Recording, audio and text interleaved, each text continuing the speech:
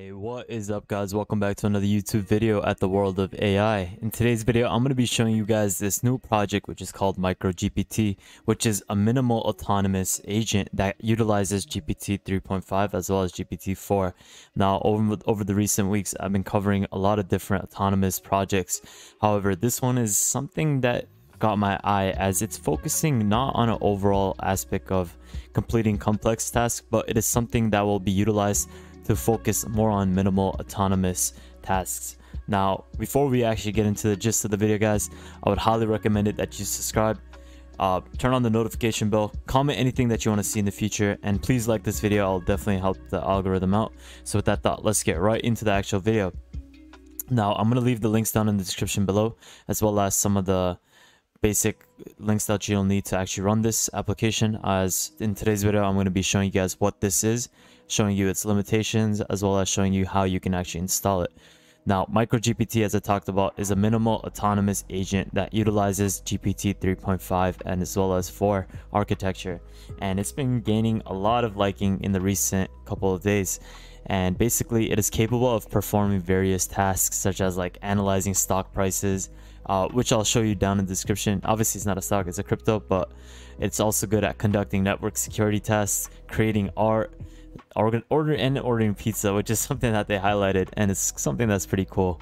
In essence, basically, Micro GPT is a generic agent that can be programmed to perform a wide variety of tasks for different functioning objectives basically now obviously this is not something like baby agi and what it's actually coded into doing but it's something more of a project that is focusing on the menial tasks that might someone have basic like difficulties in completing and it's striving towards basically attacking those types of tasks to basically ease off as well as make it a little bit easier for people to complete certain objectives.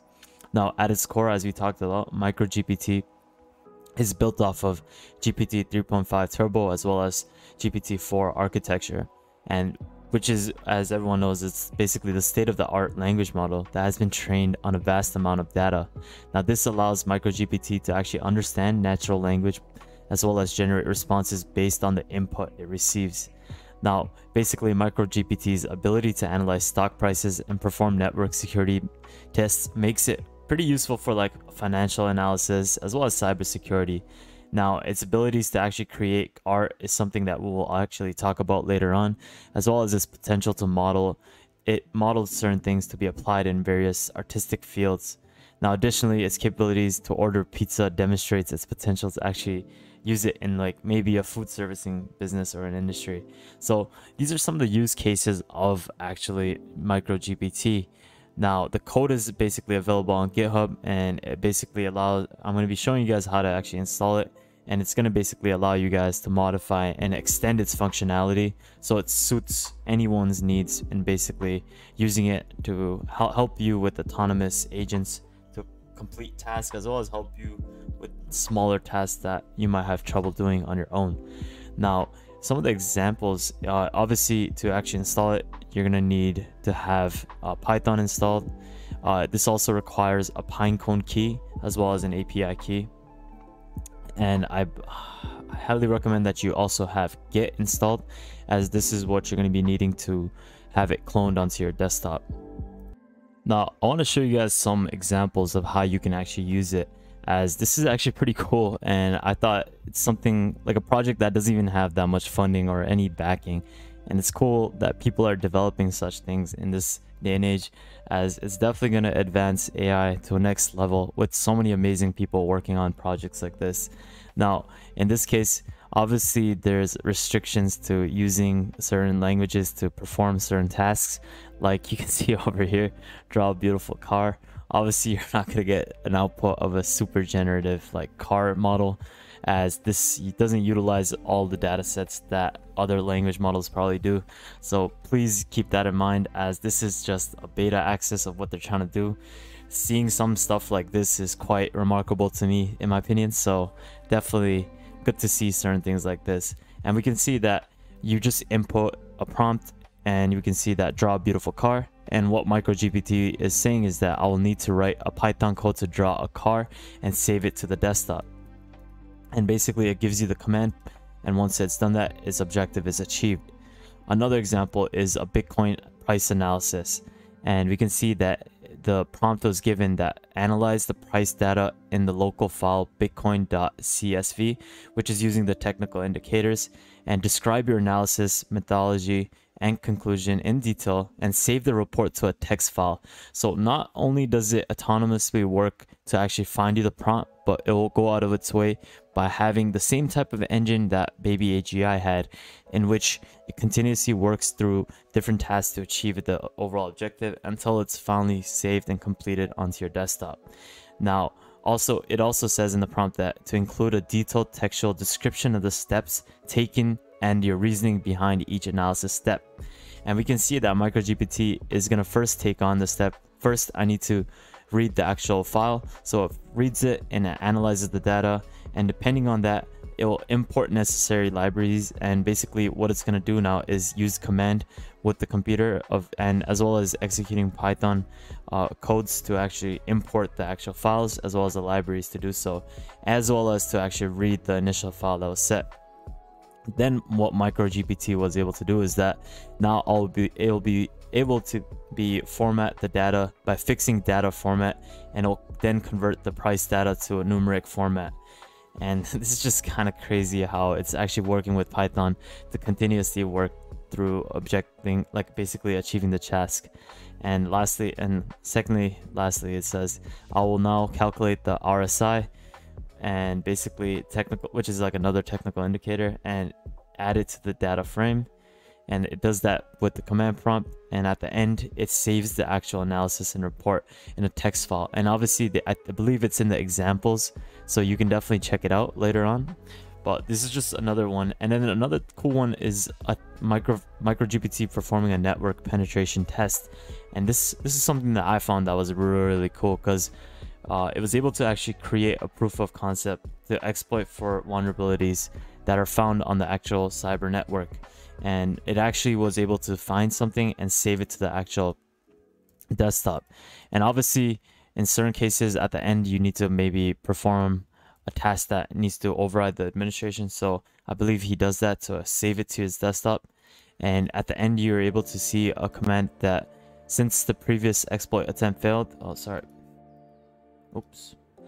I will try to use Nikto to scan the web server for vulnerabilities.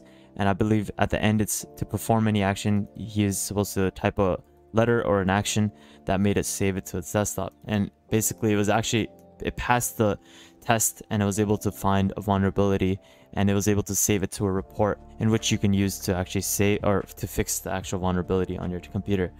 Uh, obviously, there's also cool things that they've done. Uh, it's not censored, so it's pretty cool. As taking over the world, this is something that they were actually able to do. Uh, I don't know how, how, useful this might be, but it's something that they were just testing out with the project. Uh, another cool thing I saw was the creating a generative art, which is quite unique and pretty cool in my opinion. As this is really cool to see. Uh, obviously, this is just like something. It's not going to be some type, as I said before, it's not going to be some type of like amazing art that this project is going to try to generate as this application isn't quite extensive with its tech so you're not going to be able to generate certain things. But you're able to do a menial task and that's the objective of what they're trying to do at the first stage. Uh, basically ordering pizza doing these small little tasks so it basically eases off your day-to-day -day tasks.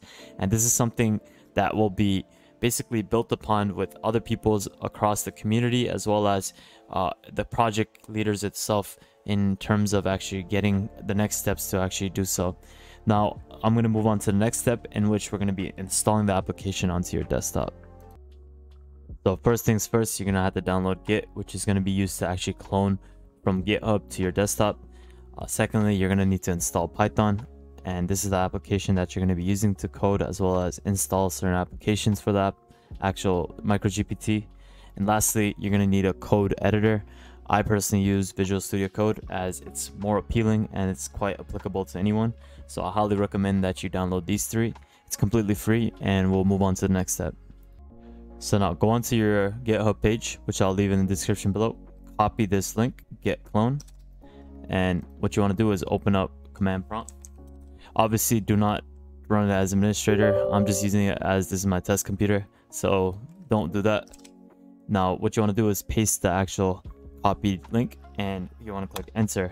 Now, it's going to be cloning the actual Git link and you can basically say yes if you want to connect and go on next.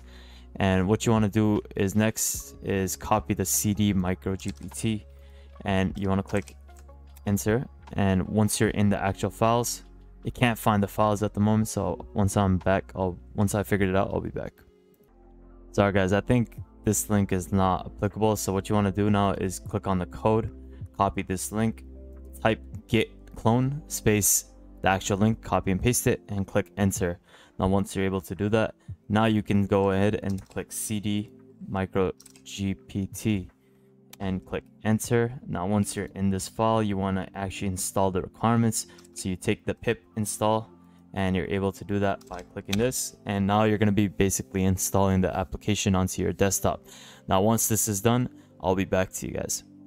So once that is completed now you can actually open up your editor code. I'm going to be using visual studio code and now you want to open up the folder. It's going to be on your desktop or wherever you saved it and once that is uploaded i'll get to the next step.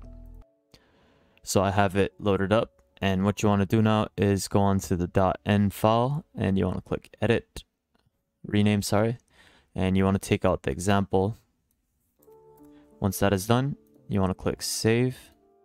And now what you want to do is basically add your API key. So what you want to do now is go on to OpenAI's API key and you want to input your key. Obviously, you need to have a balance on it and you need to make sure that it is actually you don't actually you take it off once you're done using it and changing the actual deleting the key and changing up the words for it because you don't want people to actually access and use your actual API key. Now you can use the GPT-4 model or you can use the 3.5 turbo model. So it depends on what you want to do. There's also certain things that you can mess around with in terms of its parameters as well as its size. So you can play around with these figures but in terms of using a pinecone key you're gonna also have to input this. So you need to put the region as to where, where you are. And this is free obviously. So you can go on pinecone.com and get the actual pinecone api key. Uh, i believe you put the region here and you put the api key over here. Now once you have inputted the keys you want to click save and you want to move on to the next step where you go to the microgpt.py file. Now this is where you're going to be actually accelerating and creating your prompts and basically once you're here you need to go over the instructions and system prompt. So obviously you don't want to tweak around with this. Uh, you can also add your objective over here but you can also put the input the instruction over here in which you can make sure you carefully read where to actually input your instructions as well as considering to put your command. Obviously in terms of your reasoning you can have multiple different lines if python code that explains the reasoning. So make sure you read through it and as to where you're trying to input it. It clearly clearly says what you need to do and where you need to input it. And that's basically a gist of how you can actually run it. Obviously once you're done inputting the prompt and what you want to generate you click save. And how to run it is basically you click this little uh, play icon at the top right corner. And once you're able to do that it'll generate the text in new file or below. And obviously if you want to save it it'll save it to a certain location on your local desktop. And that is basically how you can actually run it on your desktop guys. I hope you found this video very helpful guys as this is something that will be quite revolutionary if they keep on to working on it. And i'm gonna keep on highlighting different things like this as this is gonna be very beneficial for you guys so I highly recommend that you ch check it out. I'm going to leave all the links down in the description. If you found this video helpful, guys, please like the video, comment anything that you want to see in the future, and please subscribe and turn on the notification bell as it would definitely mean the world to me, guys. So with that thought, I'll see you guys next time. Have an amazing day, fellas, and I'll see you guys later.